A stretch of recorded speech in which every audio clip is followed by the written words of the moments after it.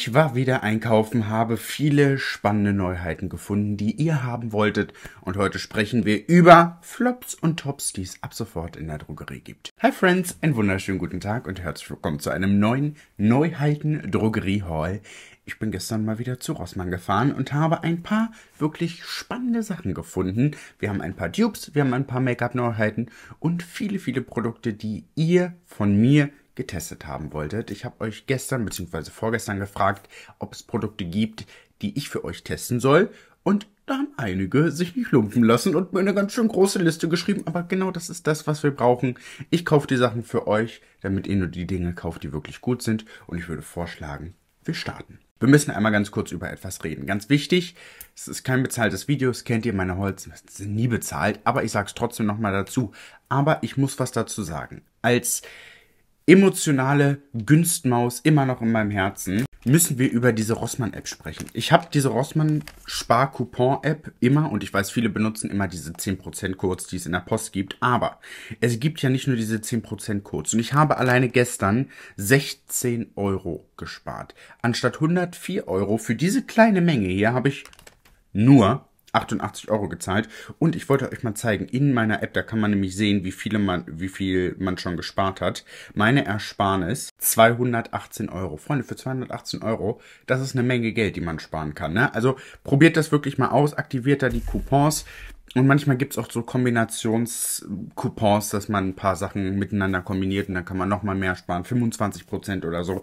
Habe ich gemacht und habe wirklich eine Menge gespart. 16 Euro ist schon wirklich eine Menge. Will ich gar nicht so viel drüber reden, nur als kleinen Spartipp, wir sparen, wo man kann. Wir starten mit Ba Baby Dream. Ich habe übrigens auch nur Produkte gekauft, die als neu deklariert worden sind. Unter anderem Baby Dream Feuchttücher. Wir haben kein Baby, aber wir haben jemanden, der sich schminkt und der hier gelegentlich mal seine Hände oder seine Arbeitsplatte hier ein bisschen sauber machen möchte.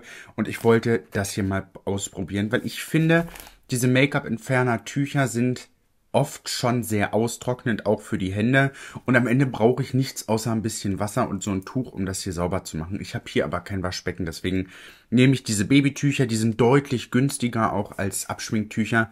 Da ich mich nicht mit Abschminktüchern abschminke und es auch nicht tun werde, ist das hier zum Reinigen der Arbeitsfläche und so völlig in Ordnung. Die riechen halt immer nach, weiß ich nicht, nach Babyreinigungstüchern. Ich mag den Duft ehrlich gesagt nicht so, aber es ist völlig in Ordnung. Hier sind 80 Tücher mit drin und es ist sogar mittlerweile auch dieses Symbol hier drauf. Nicht in die Toilette werfen und nicht ins Meer werfen, die Armschildkröten. Also einmal Babytücher, die bleiben gleich hier liegen. Und dann, ich, ich muss wirklich sagen, ne, also 104 Euro ist schon heavy. Ich habe aber auch wirklich viele teure Drogerieprodukte gekauft, weil sie mich sehr interessiert haben. Mm, mein Interesse im Moment ist so ein bisschen es wandert so ein bisschen. Ich probiere eigentlich im Moment verschiedene feste Produkte aus, weil ich neulich echt einen Schreck bekommen habe, als ich den letzten Aufgebraucht-Haul gedreht habe und äh, das sortiert habe in die Plastikmülltüten, wie viel Plastikmüll ich produziere. Hier in dem Haul wird's nicht besser, aber ich habe mir ein paar Sachen schon mal rausgesucht, die ich aber jetzt hier noch nicht in den Haul mit reinpacke, weil ich sie erstmal testen möchte. Hier habe ich tatsächlich schon eigentlich alles einmal getestet und deswegen geht's auch direkt los mit Garnier. Das ist äh, eine Augencreme, eine neue. Vitamin C mit 4% Niacinamid, Koffein, Vitamin C und Bananenpuder. Kommt in einer Papierverpackung und die ist auch für alle Hautfarben gemacht. Das ist ganz spannend. Ich würde dem nicht ganz zustimmen. Das ist so eine kleine Tube. 15 Milliliter sind hier mit drin. Eine recht schmale Verpackung und sie fühlt sich Tatsache auch an, als wäre das recycelter Kunststoff. Formel in einer CO2-neutralen Fabrik hergestellt. Also hier steht jetzt nichts, ähm, ob die Verpackung recycelt ist. Es fühlt sich aber zumindest so an. Es ist so ein bisschen wie so Kraftpapier, nur in Plastik. Die habe ich schon benutzt. Die hat mir sehr, sehr gut gefallen. Die ist gelb. Und die, wenn die eingezogen ist, hinterlässt die so einen leichten Schein an Schimmer und kaschiert so ein bisschen die Augenringe. Sehr, sehr zart. Also wenn ihr sehr hell seid, ist sie, glaube ich, für den Alltag nicht unbedingt was. Wenn ihr ein bisschen dunkler seid, so ab mir dunkler, sehr, sehr gut. Einfach um es optisch auch schon mal so ein bisschen aufzuhellen. Hat nicht gebrannt, da bin ich ja immer sehr empfindlich, was äh, Vitamin C an den Augen angeht. Sehr, sehr, sehr, sehr gute Empfehlung jetzt schon nach dreimaliger Verwendung. Gestern direkt, als ich sie gekauft habe, dann abends nach dem Abschminken und heute Morgen nochmal. Dreimal. Eine Sache, die ich ausprobieren wollte, denn im Moment bin ich so ein bisschen auf Pickle Patches. Ich habe ja von Mario Badescu diese Drying Lotion, die trocknet mir aber zu viel drumherum aus. Und ihr seht es, ich habe hier einen kleinen Besucher bekommen. Und Schebens hat jetzt auch Anti-Pickle Patches. Und ich mag die eigentlich ganz gerne, weil man die nicht so stark sieht. Ne? Wenn du so einen weißen Fleck Drying Lotion im Gesicht hast, kannst du nicht rausgehen. Mit so einem kleinen Klebepatch geht das schon. Und dann sieht das nicht ganz so daneben aus. Wollte ich einmal ausprobieren. Zwölf Stück sind hier mit drin. Das ist schon sehr, sehr, sehr, sehr teuer im Verhältnis zu denen von Balea. Ich glaube, bei Balea sind 84 Stück drin und die kosten 99 Cent. Und hier sind nur 12 Stück drin und die waren bei 1,29. Aber vielleicht ist Schebens gut. Ich bin ja der Meinung, dass Schebens auch wirklich gute Produkte hat. Und manchmal muss man so ein bisschen gucken, äh, welche Produkte man auswählt. Deswegen, vielleicht habt ihr ja schon Erfahrungen mit einigen Produkten hier gemacht. Dann schreibt es mir unbedingt in die Kommentare. Oder ihr findet noch etwas, wo ihr sagt, hey Maxim, das hättest du noch mal mit kaufen müssen. Schreibt es mir in die Kommentare. Ich gehe am Wochenende eh wieder in die Drogerie. Wir haben ebenfalls aus dieser Vitamin C-Reihe ein Serum, das Skin Active Nachtserum. Da gibt es jetzt mittlerweile eine ganze Reihe von Garnier. Ich bin ehrlich, ich habe mit Garnier nicht mehr viel zu tun gehabt. Seit, ähm, also Ne, das waren nie so die Produkte, wo ich hingegangen bin. Aber Vitamin C ist wohl im Moment sehr beliebt und deswegen kommen auch viele Brands mit Vitamin C-Serien raus. Das ist jetzt für die Nacht. Es gab auch noch eins für den Tag. Das hat mir sehr, sehr gut gefallen. Am gestern Abend zumindest. Ich habe es heute Morgen auch einmal benutzt. Da weiß ich jetzt aber nicht. Ich habe nämlich ein Problem. Vielleicht erkennt ihr es auf der Stirn. Ich habe alle Produkte heute Morgen nochmal benutzt und die Kombination war nicht so gut. Das ist ganz toll. Kommt in einer dunklen Glasflasche. Vitamin C ist sehr lichtempfindlich und ihr müsst unbedingt aufpassen, dass ihr das immer richtig, richtig zuschraubt. Weil ich hatte ja neulich das L'Oreal Serum, ne, dieses neue Vitamin C Serum. Das ist sehr, sehr, sehr, sehr gut. Aber ich habe das halt nie richtig zugemacht und nach zwei Wochen ist es ganz, ganz dunkel geworden. Und sobald es dunkel ist, könnt ihr es wegwerfen. Und das ist halt bei 19 Euro echt schade. Das ist eine sehr durchsichtige Konsistenz noch. Leicht dickflüssig, aber nicht so gelig, sehr weich auf der Haut, schon fast silikonig fühlt sich das an. Riecht sehr neutral, so ein bisschen frischer, ein bisschen. Ich kenne den Duft und ihr kennt den Duft auch. Ist ein sehr einfacher Duft und hinterlässt auch wirklich so einen ganz, ganz leichten glowy Film auf der Haut. Sehr, sehr schön. Ich muss mal gucken, ob das wirklich nur für die Nacht ist oder ob das vielleicht das Produkt war, was mein Make-up tagsüber zersetzt hat. Das kann ich jetzt aber nicht negativ deklarieren. Ne? Also wenn ich ein Produkt kaufe, wo drauf steht abends und ich es morgens benutze und dann Probleme damit habe, bist du selbst schuld. Ne? Ist halt nicht dafür gemacht. Hat mir jetzt aber wirklich gut gefallen. Hier sind auch Vitamin C Derivate mit drin. Den Glow Booster für die Nacht. Ich schau mal ganz kurz. Was ich sehr, sehr gut finde bei Garnier mittlerweile ist, ah nee, hier ist es zum Beispiel wieder nicht drauf. Es gab doch mal eine Zeit, da haben die auf der Seite aufgelistet die Inhaltsstoffe und was das für Inhaltsstoffe sind. Also, da muss ich mal ein bisschen schauen. Ich probiere mich gerade so ein bisschen aus mit ähm, Pflege aus der Drogerie. Ansonsten, wenn ihr ein gutes Vitamin C Serum sucht, das neue von Colibri Skincare ist sehr, sehr, sehr, sehr gut. Da hast du halt nicht dieses gereizte, das Make-up sieht wunderschön da drauf aus. Funktioniert gut. Garnier, weiß ich nicht. Also ich habe Garnier Ewigkeit nicht mehr benutzt. Die Haarspülung, okay. Das Micellenwasser ja, aber Pflege wirklich war das letzte, glaube ich, diese Garnier Klerasil. War Klerasil Garnier? So Pickle Patches, aber da war ich 14, also das ist auch schon viele, viele Sonnenumdrehungen her. Dupe Alarm. Ich habe hier von John Frieda die Deep Sea Hydration Feuchtigkeitsmaske für die Haare gekauft und die hat mich vom Duft her so ein bisschen an die von Way erinnert. Ich blende euch ein Bild hier ein. Das ist die Haarpflegemarke von Jen Atkin, der Hairstylistin von den ganzen Kardashians und von den ganzen Promis. Die hat eine sehr gute Pflegerei. Da habe ich gleich noch einen Dupe dazu, also bleibt unbedingt dran. Äh, riecht so ein bisschen. Was ist das? Das ist Urea. Das riecht ein bisschen nach Urea. Ne, so dieses ganz, ganz leicht säurige, aber frisch. Ein bisschen aquatisch. Bin ich sehr gespannt, wie die funktioniert. Im Moment habe ich wieder ein Aufflammen auf meinem Kopf gehabt von dieser sehr, sehr trockenen Faser.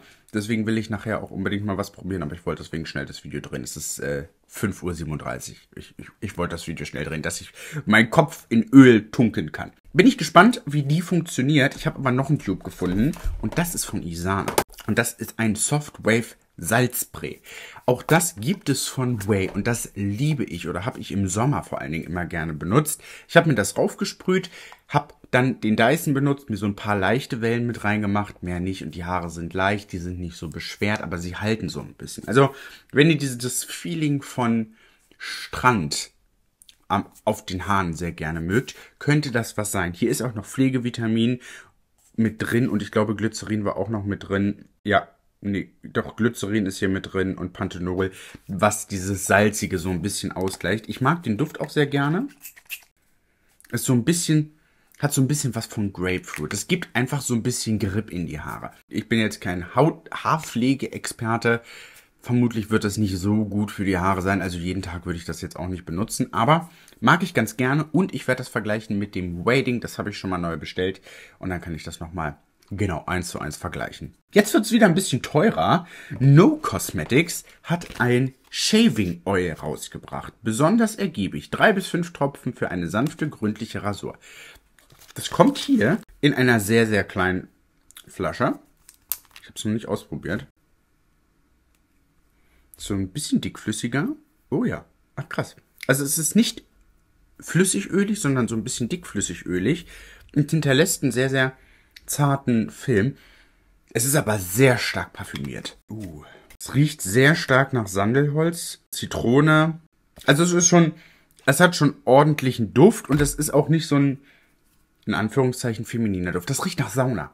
Das riecht nach Sauna. Ich, ich, ich habe damit kein Problem. Ich liebe Duftstoffe, ja. Ich liebe Duftstoffe, weil es einfach ein schönes Gefühl gibt. Und beim Rasieren ist es mir wurscht. Ähm, wollte ich mal probieren, weil ich meistens so ein paar eingewachsene Haare kriege und vielleicht funktioniert das damit besser.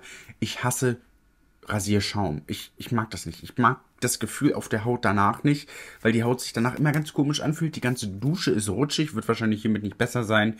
Ich werde es ausprobieren und gebe euch dann im Aufgebraucht-Video ein Update. Wir haben noch mehr Pflege und zwar aus der L'Oreal Man Expert Reihe und über die Augenpflege habe ich tatsächlich schon viel Gutes gehört.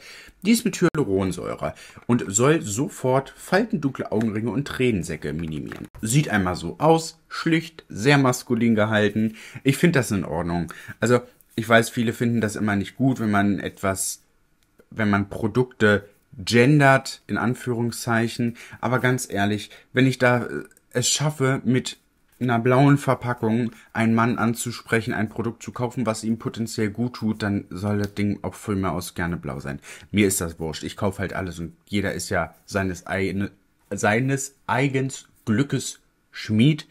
Da kann man ja selbst entscheiden, ob man den blauen Rasierer oder den rosanen Rasierer kauft. Ist es richtig, dass rosane Rasierer teurer sind? Absolut nein, um Gottes Willen ich rede von der anderen Seite, ne? von Männern, das etwas Man-Expert, super maskulin, Power Hole, Power Age. Wenn's hilft, bitte. Habe ich ausprobiert, hat mir sehr gut gefallen, ist sehr schön eingezogen und hat auch so einen leicht kühlenden Effekt gehabt. Ein Produkt, da bin ich ehrlich gesagt ein bisschen enttäuscht, ich verstehe es aber und ich bin vermutlich auch mit diesem Make-up nicht die richtige Zielgruppe dafür gewesen. Das ist das Power Age Serum mit Mehrfachwirkung, intensive Straffung der Haut, ein Hyaluronsäure-Serum. Das riecht wie ein typisches Aftershave für den Mann. Ich liebe den Geruch. Das macht mich immer ganz wuschig. Ich mag diese richtig, ne, bitte, please don't cancel me, männlichen Düfte. Aber ich glaube, wenn ich das sage, können viele was mit anfangen. Es riecht sehr maskulin. Es riecht sehr, sehr stark und es hinterlässt ein sehr matten Film auf der Haut. Also es mattiert wirklich gut. Mit einer öligen Haut könnte das eine gute Sache sein. Die meisten Männer wollen ja auch so ein bisschen mattiert sein und nicht glowy Skin und super fresh. Ich werde das probieren hier im Halsbereich zu nutzen nach der Rasur. Das ist ja hier bei mir mit den Pickelchen. Ich will das hier unbedingt weglasern lassen, aber ich traue mich nicht. Im Gesicht würde ich es persönlich nicht unbedingt benutzen wenn ich Make-up trage, wenn ich kein Make-up trage, könnte das eine gute Sache sein. Wir haben Make-up und da tragen wir doch gleich mal was auf. Und zwar hat L'Oreal einen neuen Lippenstift rausgebracht. Das sind die Intense Volume Mats. Ich habe mich für die Farbe 600 entschieden. Packaging ist wunderschön. Sehr, sehr sleek, sehr natürlich. So ein ganz, ganz zartes Packaging mit gummiertem Gummi. Ist ein recht schmaler Stick, finde ich aber in Ordnung, ist für unterwegs ganz gut. Wir tragen ihn einfach mal auf. Ist eine sehr schöne Farbe. Gibt gut Farbe ab. Werde ich nochmal weiter austesten. Ich dachte, ich nehme ihn einfach mal mit, schaue mir die Textur davon an, wie er sich so ein bisschen verhält. Ich habe jetzt ein bisschen Pflege drunter gehabt, deswegen wird er nicht so ganz matt werden. Vielleicht habt ihr die schon ausgetestet. Ich muss sagen, ich mag die Verpackung sehr gerne, weil sie so filigran sind. Es fühlt sich sehr, sehr, sehr, sehr hochwertig an. Das merkt man aber generell bei vielen Drogerieprodukten im Moment, ne, dass das alles wertiger wird vom, von der Verpackung her. Wir haben noch ein anderes Make-up-Produkt und zwar von L'Oreal. Das ist aber, glaube ich, nicht neu. Ich glaube, sie haben nur die Verpackung geändert. Das Grüne liebe ich, ne? Das ist so ein bisschen um Rötung zu kaschieren. Es gibt aber auch noch die Magic BB mit Vitaminkomplex B5 und Vitamin E. Sieht einmal so aus. Ich glaube, sie haben einfach nur die Verpackung geändert. Finde ich jetzt ehrlich gesagt gar nicht schlecht. Ich bin ja im Moment eh so ein bisschen auf dem Skin Tint Trip. Kommt in so einer weißen Form raus. Und dann wird das etwas farbiger und kaschiert so ein bisschen. Auch hier mochte ich diesen leichten Glow auf der Hand. Ich habe ihn geswatcht, habe ihn auch einen Moment draufgelassen. Habe mich jetzt für die mittlere Farbe, glaube ich, entschieden. Wird im Sommer dann. Ne? Also ich probiere ja schon so ein bisschen längerfristig zu denken. Das ist ja ein Produkt, was ich eher im Sommer trage als im Winter. Es hat auch einen Rosé-Unterton. Das passt mir natürlich sehr, sehr gut. Hat mir gut gefallen. Der grüne ist aber auch sehr gut unter Full Coverage Make-up, um Rötungen wirklich zu kaschieren. Und jetzt, Freunde, ich, ich verstehe Body Sprays nicht. Vielleicht könnt ihr mir da helfen, aber vielleicht bin ich da einfach nicht mit aufgewachsen mit Body Sprays. Ich weiß noch, viele meiner Freundinnen haben immer Body Sprays getragen und dann den ganze Klassenzimmer voll gesprüht. Ich verstehe Body Sprays nicht, aber ich habe etwas von Bruno Banani gekauft. Jasmin und Vanilla, Sunset Blossom. Dieser Duft ist toll. Der ist sehr, sehr, er riecht nicht billig. Und das war immer mein Gedanke, bei Body Sprays, dass die so billig riechen. Und ich glaube, dass das etwas sein kann. Also ich, die werden ja nicht so lange auf der Haut halten, aber es ist für Body und Hair. Aufs Haar würde ich nur auch nicht unbedingt sprühen, es sei denn, du hast sehr, sehr lange Haare, weil bei mir ist es direkt an der Kopfhaut. Aber als Raumduft, als Autoduft, als mal schnell die Klamotten so ein bisschen refreshen, ist das genial. Es ist ein bisschen teurer, aber hier ist ja auch ein Viertel Liter mit drin. Da kommst du in einem Moment mit aus. Es ist sehr Jasminlastig. Ich finde aber nicht so billig Jasmin. Das ist ein ganz, ganz besonderer Duft, der mir sehr, sehr gut gefallen hat. Ganz, ganz, ganz, ganz toll. Ich musste es gestern sofort im Auto aufsprühen und habe den ganzen Sitz mit eingesprüht. Ich habe Gott sei Dank Stoffsitze. Da geht das. Oh, mein Auto hat gerochen wie... Uh, da wäre ich gern länger drin geblieben. Große Empfehlung. Bruno Banani. Ich finde, muss ich sagen, ich liebe Düfte. Ich liebe Düfte. Aber Bruno Banani, der hat mich, glaube ich, der Name einfach immer nur abgeschreckt und diese Werbung mit dem Mann und den 20 Damen um ihn herum. Und das sitzt immer noch in meinem Kopf und das hat mich persönlich, glaube ich, davon abgeschreckt, diese Sachen zu kaufen, weil ich mir dachte so, boah, was für eine doofe Werbung. Der Duft, toll. Und wir haben zu guter Letzt von Jean Len, unseren Freunden ohne Gedöns, ein trockenes Pflegeöl und das testen wir jetzt direkt einmal aus. Kokos Sandelholz Packaging ist sehr schlicht, gefällt mir aber ganz gut. War auch gar nicht so günstig, ne? Ich glaube 5 Euro. Ja, 4,99.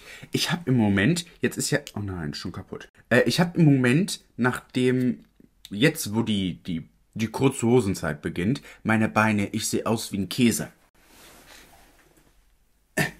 Ich sehe sehr käsig aus an den Beinen und die Haut ist super, super trocken. Deswegen probieren wir das Ganze einmal aus. Riecht gut. Nach Sommer. Uh.